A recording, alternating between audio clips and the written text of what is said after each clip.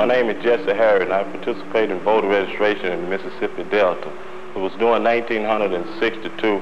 I was arrested in Jackson for contempt of court and fined $100 fine and 30 days in Hinds County Farm. The first time I was beaten was in Hinds County on the elevator when officer asked me my name and where I'm from, and I told him I was from Jackson. And so he beat me and he hit me side the head in the back and thing. The second time I was beaten on the Hinds County Farm because he, he asked me where I was farm also, and I told him Jackson, and he said, are you one of those freedom riders? And I told him I didn't know what it was, so he beat me. And the third time I was beaten was on the county farm because uh, I refused to move a 200-pound log. And the fourth time I was beaten because... My name is Jesse Harris, and uh, I work for the Council Federal Organization in the 3rd Congressional District of Mississippi. What I like to do, I like to point out some of the things, some of the activities that have been taking place in the 3rd Congressional District for the last three months or so.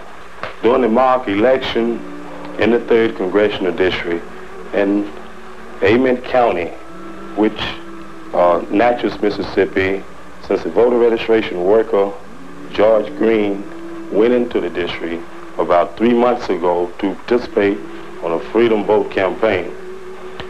Uh, George Green was intimidated and harassed by the police force and members of the Ku Klux Klansmen. Uh, his car was shot in many times, and uh, he received uh, threat telephone calls and so forth.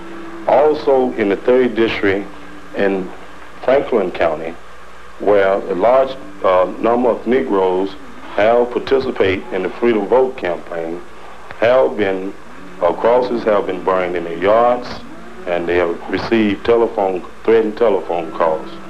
Also down in Amite County, which in uh, uh, Liberty, Mississippi, where uh, Herbert Lee was killed in 1961 because of voter registration activity.